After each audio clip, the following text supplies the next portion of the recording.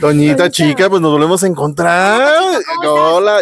Ya me regresas con el novio porque la última entrevista no estaba. No, es que es que esa, ay, sí, pobrecita, ya me acordé, ay, ya me acordé, Pachita. Ay, con razón. Esperándola afuera. Con razón andan diciendo que te ando dejando. No, miren, lo que pasa es que Paolo y yo somos personas que de repente se ocupa él y no lo veo. O me ocupo yo y no lo veo. No nos vemos. Y luego nos ocupamos los dos y valimos queso. Pero si estamos al pendiente aquí donde nos ven, nos echamos nuestras llamaditas, o salimos a comer un elote, o salimos viaje. a tomar cositas exóticas ahí, pero bueno. este, o nos vamos de viaje. A lo que voy es, lo que tenemos él y yo, no hay necesidad de gritarlo a los mil vientos. Al principio, porque andábamos de moda y todo ese rollo, pues ya pasamos a la etapa de tranquilidad donde, oye, paro, llévame acá, sí, voy, voy por ti, Pachita. O, Claro. oye, Pachito, paso por ti, vámonos. Ah, sí, vámonos, así somos. Pero no tenemos ningún problema. Que se han callado muchas bocas, ¿no? Porque había quienes no les daban ni un mes de relación. Pues sí, o sea, decían, es que mira, la gente siempre va a hablar. Al final de cuentas, si hablan bien o mal, pues qué bueno, ¿no? Pero lo que yo, él y yo tenemos, pues es algo que nosotros sabemos que onda. Claro. Porque decían que todo era publicidad. Decían No, y- que contrato, ¿verdad? y ya, y ya duramos un buen y planeamos durar muchos años. No, y si hubiera sido contrato, creo que ya quedó atrás, porque ya. Pasa. Oye, ¿cuánto te tenía que cobrar? ah, al revés, ¿cuánto me Al tenías revés, que ¿no? cobrar? Sí, claro, yo, yo te, te- ah, porque yo soy el chavo. Sí, tú eres el chavo. Mira, hemos recibido comentarios. Imagínate que la grilla no encontraba dónde, que decía sí, seguramente le paga él yo. Ujú.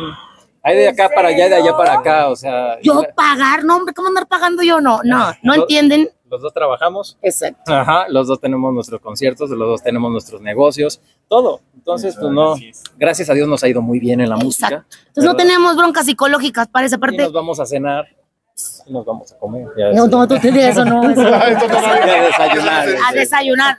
Él quiso decir a desayunar. Oye, Doñita, y. Nerviosa. Oye, ¿cómo te encuentras de salud? Porque digo, supimos que tuviste ahí un, un pequeño, este, pues tuviste que salir de Survivor por algo que. No, no salí de Survivor. Me sacaron de Survivor porque me lesionaron. Esa es una. No hay que romantizar Ah, a las personas que lastiman. Más cuando lastiman por gusto o por querer quitar un contrincante. Yo lo he dicho y lo sigo sosteniendo y en su cara estoy esperando que regrese, gracias. Delante de ella lo voy a decir, eso no fue un accidente. Tú lesionaste por joder. Porque el- los doctores me dicen, es que no te quiso, no te quiso joder, te chingo. Esa es la palabra correcta. Estamos hablando de Lisbeth Rodríguez. Así es, Lisbeth fue la que me lesionó y para el cuerpo que tiene y para la condición que tiene, agradezco que no haya sido atlética y que sea una persona que solamente su cuerpo es a base de otras cosas y no de fuerza, sino me hubiera roto la pierna.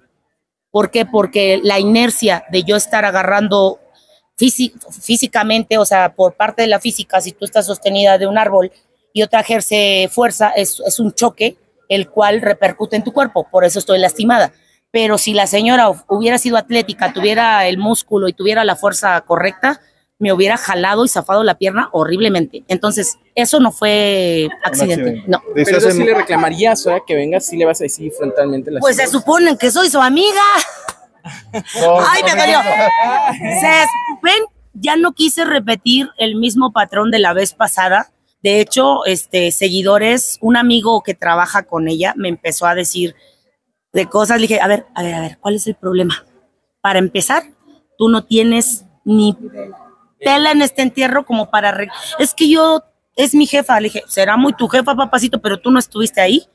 Y yo fui la que me fui a urgencias al hospital. Estuve una semana dolorida que ni la morfina me ayudaba. Sigo con dolor. Le dije, es que tú no tienes absolutamente nada que ver. Por favor, ni te metas en lo que no te incumbe y no estés de metiche. Quizá le pidieras una reparación del daño, alguna compensación. Ya no sé, eso la abogada lo verá, la verdad, porque este, yo pude haber permanecido más. Me, me choca que digan que soy mentirosa. Dicen, es que te saliste, ahora entiendo, te saliste y fingiste. No, me hubiera encantado fingir un dolor como el que sentí, porque ese dolor no se lo deseo ni a mi peor enemigo. Es un dolor que me dolió hasta el alma. Lloré, sufrí, padecí, las cosas más horribles me pasaron en una semana. Entonces, créanme que si uno hubiera querido fingir, no hubiera pasado nada de eso. Todavía este, grabo, les voy a mandar un video cómo me picotean para que vean el dolor que se siente porque aquí donde me ven, pues me ven bien feliz y todo, ¿no? Pero yo camino con dolor y eso no se vale. Por culpa de una persona egoísta, por una persona que no sabe jugar limpiamente, para mí es lo más bajo que puede hacer alguien en competición. Lastimar a alguien para quitarlo. Y miren cómo es el karma. Recuerdo las palabras de John que dijo, acaba con ella. ¿Y cómo terminó John? Lastimado de la rodilla. Y no sé si hubiera ha sido la rodilla derecha o izquierda, y la verdad no sé, creo que también en la derecha. El karma está fregón.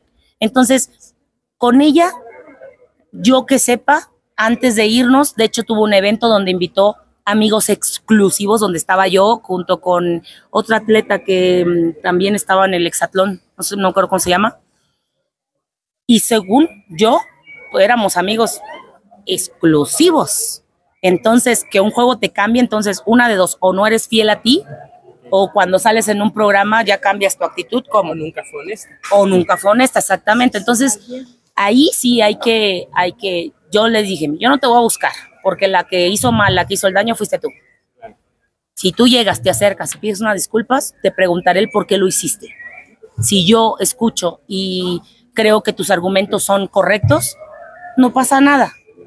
Pero si tú no hablas y tú no dices nada y todavía vas a, a buscar todo tu séquito y a echármelos en contra, ahí sí me voy a defender porque ah, lo que se ve no se juzga.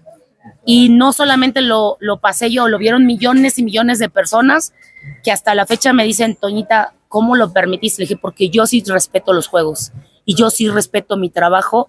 Y nos dijo eh, producción, no morder, no jalar cuello. En, en el programa se ve, perdón, cómo ella me jala de aquí, por eso la operación de mis cervicales. Se ve cómo ella la pierna hace así y se escucha un tronido de troc. Se llama empatía. Si tú escuchas que a una persona le truena algo, paras o pides ayuda. Y ella todavía siguió jalando. Eso para mí ya es maldad. Y todavía que diga, ay, así se despluma un halcón, ya es maldad doble. Entonces, ya eso, eso ya no fue con, con, con este, ay, un accidente. No, eso fue con alevosía y ventaja. Entonces, aprovecharte en un juego, porque ella sabía perfectamente que si me tocaba uno a uno, me lo descontaba. Dijiste, eso la abogada lo va a ver, entonces si tienes planeado demandar. Mm, Pues depende, estoy esperando qué trae ella, porque donde ella empiece a echarme a su séquito, que ya pasé hace años por eso, yo ya no lo quiero vivir. Yo ya no quiero vivirlo, yo no quiero repetir el patrón. Por eso ahora hice las cosas diferentes, conté las cosas que habían pasado.